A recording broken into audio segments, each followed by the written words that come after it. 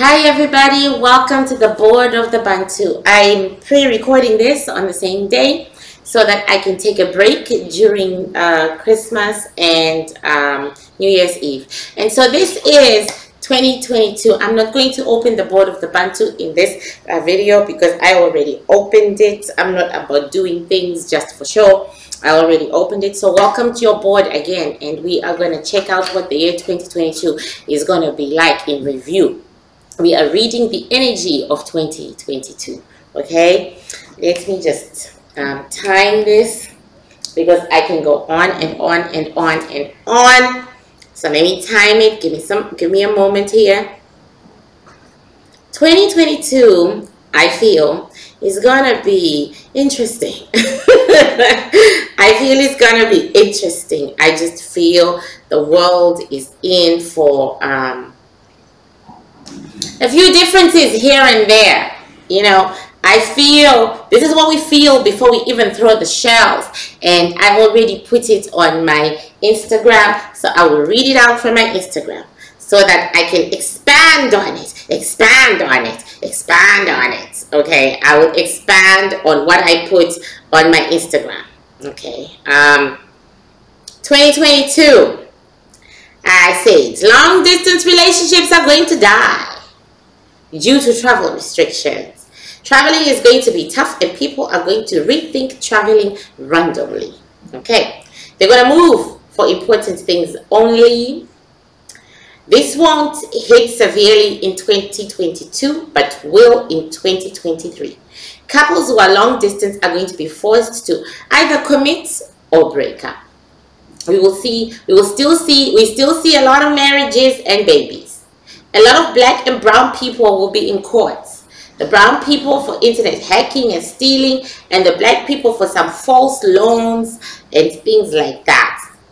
This is especially for the United States, and I do do my readings especially for the United States. There's going to be a lot of people who are going to be arrested for falsifying documents or misusing loans, and most of them are black.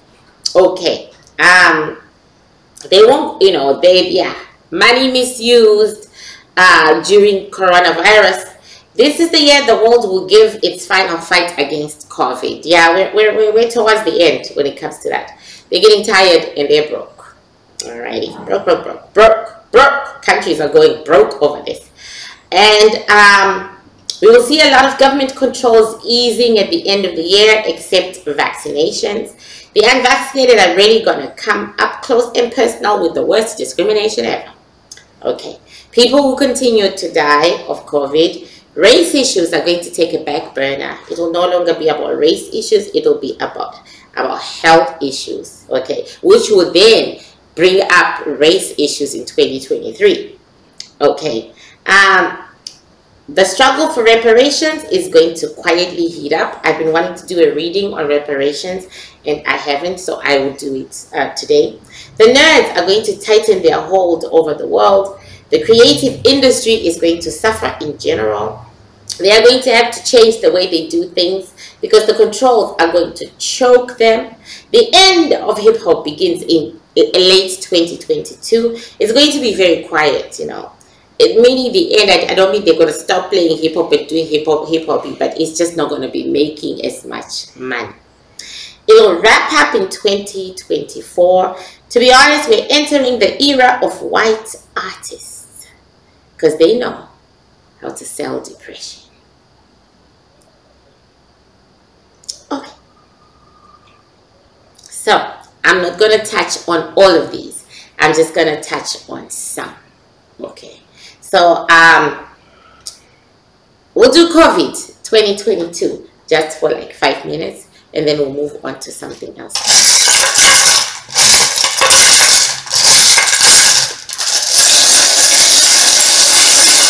Coronavirus. Show me 2022. Coronavirus. Show me 2022. Coronavirus. Show me 2022. I'm getting the map. The map. The map is up. It's actually COVID is gonna get worse, worse, worse, worse, worse in 2022. The Reds are everywhere. Mm-hmm. The Red soldiers are everywhere. You know, it's going to get worse in 2022. No buts, no what's about it. We are looking at a bigger spread of the disease. But mostly the energy we are getting from the people of earth is that they are tired. They can't.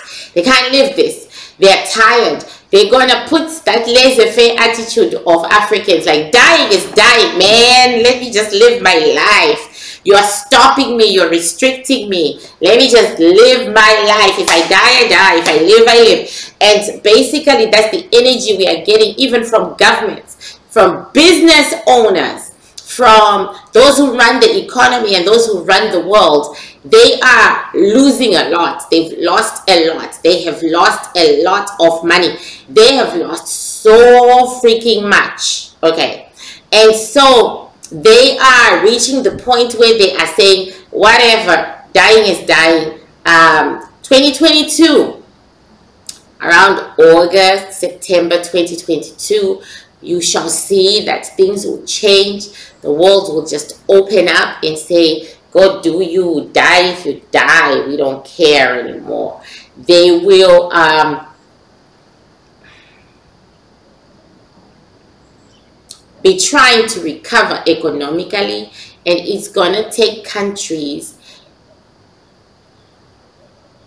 a lot to recover. Frankly speaking, the only countries that are not really going to suffer from uh, an economic shutdown because of coronavirus are the Africans. I don't mean Africans will rely on tourism like South Africa. No, I mean the Africans in inner Africa, they will just be going about their business, right? So we are getting that world economies are going to collapse and they'll be on the brink of collapse end of 2022 so they'll decide okay you know what? Collapse or die. The point is we are but before they give up there's going to be a huge huge fight. So coronavirus let's see if there's anything that i didn't channel and i didn't see because my elders want me to channel more. They say you're strong you are too strong to be you know guided by shells and air. Yeah right now of course we all know that there's plenty of death right? Right now if you don't know it you know there is plenty of death. And this trend will continue. It will continue worldwide. And this will cause countries to give up and change strategies. So strategies of containing this disease are going to change. But I think we said it months, months ago, you know, in some other video, that things will never be the same again. Humanity is never going to go back to, to uh, the old ways. We're not. We can't. Okay. Let me find another one. Um, because I was going to um, okay. Tell me about the legal justice system. 2022 tell me about the legal justice system in America. 2022 tell me about the legal justice system in America. Tell me about the legal justice system in America Like we saw, a lot of Asians, the brown ones, are, are going to be arrested for crimes committed against humanity during COVID using their laptops, okay? They are going to be an interesting type of people that are going to be arrested. We are thinking that we're going to see younger generations being arrested for that, but no, actually that's not the case. These are men in their 50s and 60s who've been doing this. We are seeing a whole line of them, lines and lines of them, which is going to change America's immigration system. They are no longer going to be trusting Asians who know how to use computers and such to come into the country, which is going to bring some kind of racism. But that's not all in 2022. 2022 is the beginning of them going to prison, is the beginning of them realizing that they are not so smart. Okay. Yeah, they're gonna fall.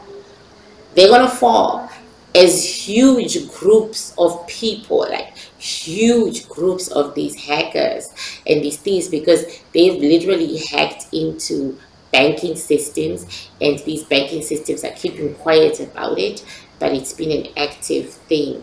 Yep they're gonna fall. Okay now let's look at um, loans. This keeps coming up. There are people who took loans under false pretenses or didn't do things about them. Biden is coming after you in 2022 so what's Biden gonna do yeah, Biden is uh, taking you out of society. He's coming after you in 2022.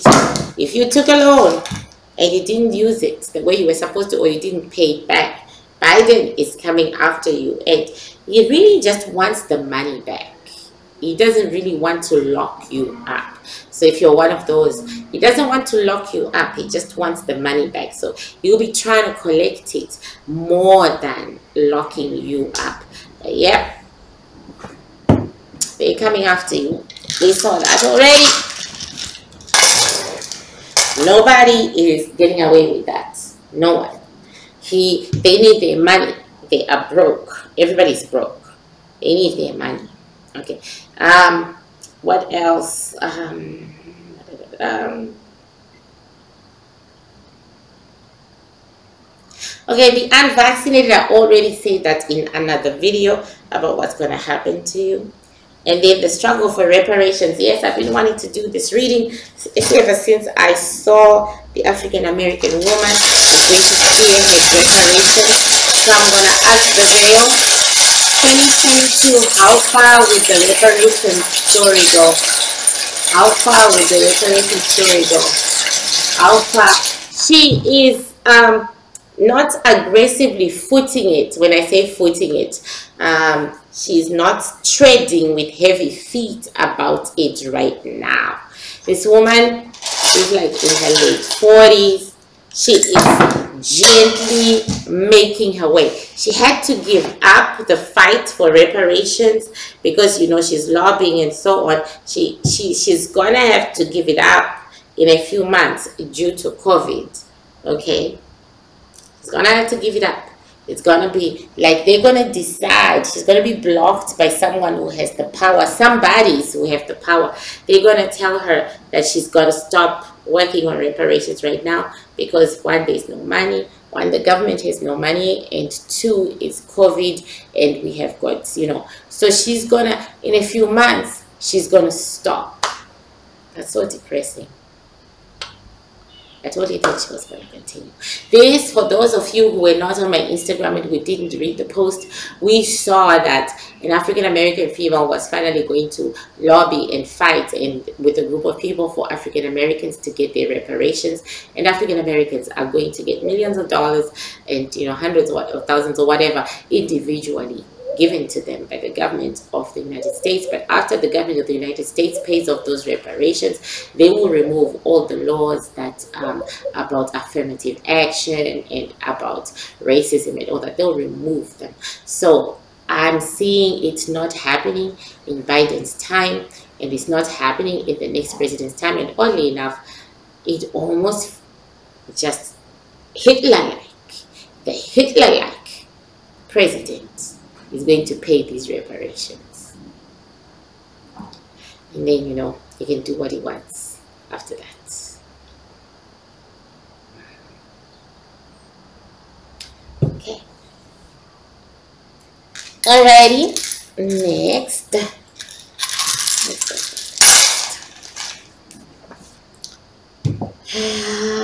that's kind of sad, but uh, COVID has changed everyone's life.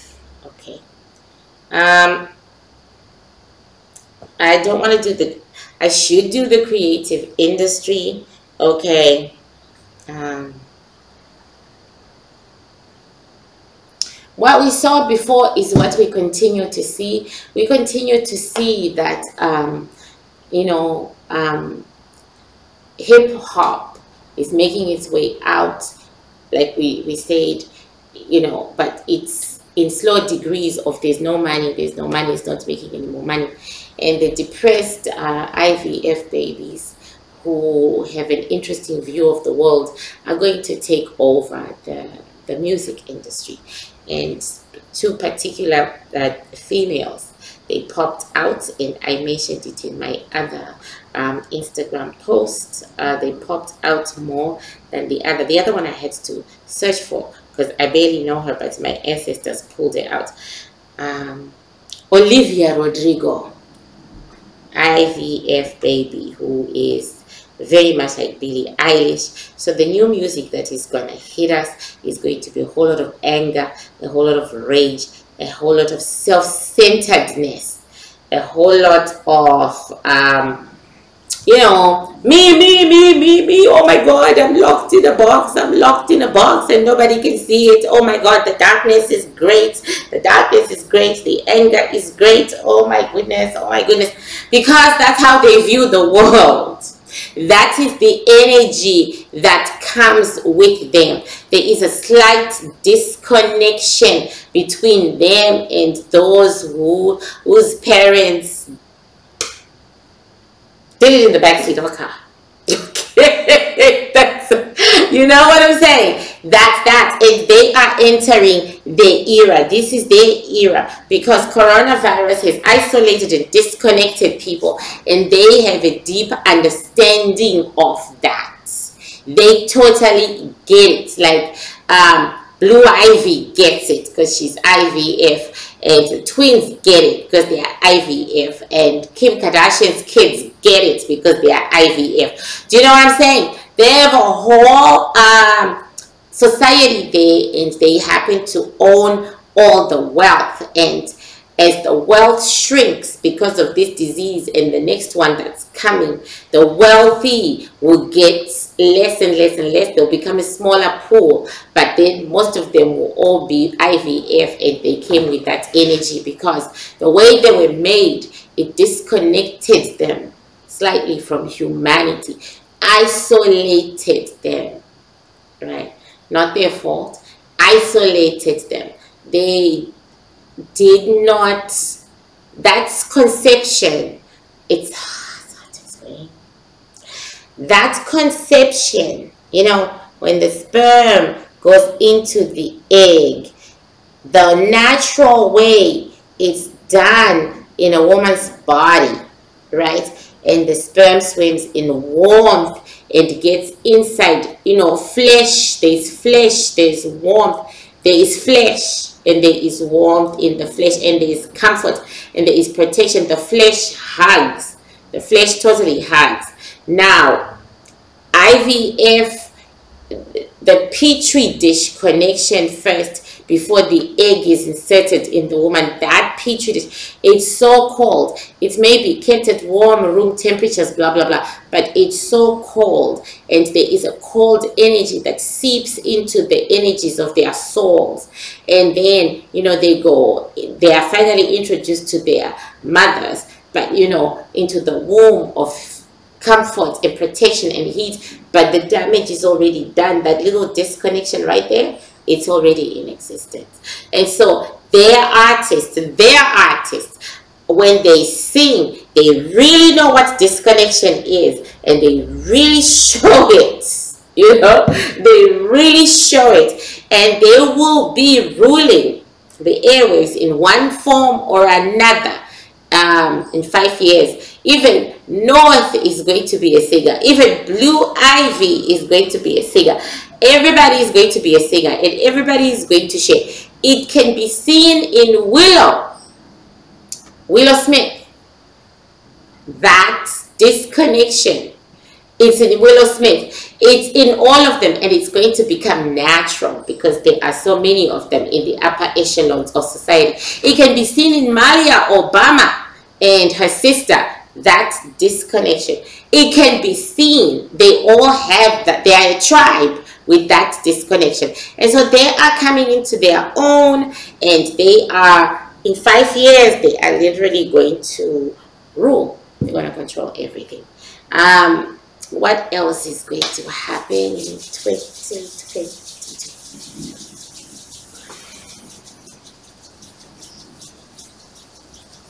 Precarious weather, but then that's it's almost like the world is rearranging itself slowly, slowly, slowly, slowly, one step at a time, one step at a time. Very, very slowly, the world is rearranging itself because a new world is coming. But we'll probably be dead and gone by then. There are no wars of great importance coming to the world in 2022. Everybody is trying to stay alive and everybody is trying to survive this. So every country is just getting more and more insular. Once again, we see great migration, human migration. Um, great human migration, which will only end in about three years. Starts really in 2022 and ends in about three years. The economies, they're all going to do badly. A lot of people are going to be without, no matter which country. Because, and that is what is going to force the countries to say, whatever, okay, we die, we die, we live, we live. Okay. Um,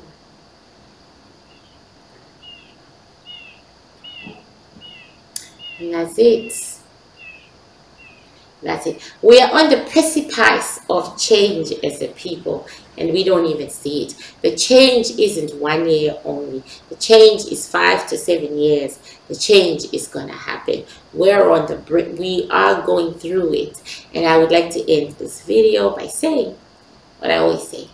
Let us not forget that we're built for this time. It's in our energies as souls. We were built to see the beginning and the end of an era. There is no one else who can go through this except us. You know the thing about channeling? I'm like, I'm hearing the beginning of totalitarian regimes starts in 2020